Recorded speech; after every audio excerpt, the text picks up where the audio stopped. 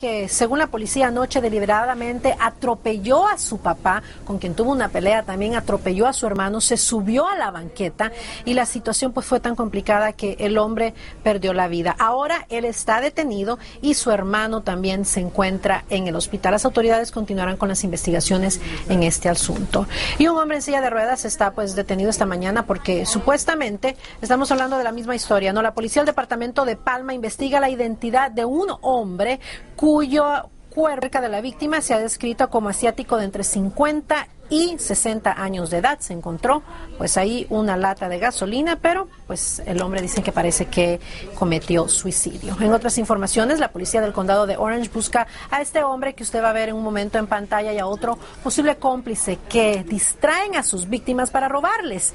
En por lo menos uno de los incidentes han usado un cuchillo. Los ladrones que han atacado a unas cuatro personas desde marzo esperan a que esta persona saque el dinero del banco, pero antes le ponchan las llantas del auto.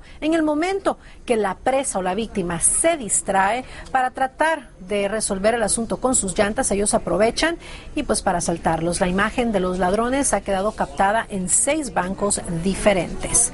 Por otro lado, el segundo incendio más grande en la historia de Arizona continúa muy activo. Hasta el momento arrasó más de 157 mil hectáreas y ha forzado la evacuación de más de 3 mil personas. Los residentes del sector sur de la localidad de Eager también ya recibieron orden de evacuación. Las llamas siguen avanzando por las montañas y la humarera se extiende más allá del límite con Nuevo México. Las autoridades interrumpieron esporádicamente el suministro de electricidad. Además, ya se comenzó a escasear la gasolina. A ver qué pasa en Arizona, chicos. Ojalá y la situación mejore porque las condiciones del clima no les está ayudando a esta pobre gente. Doña, muchísimas gracias. En verdad, qué placer eh, saber las noticias.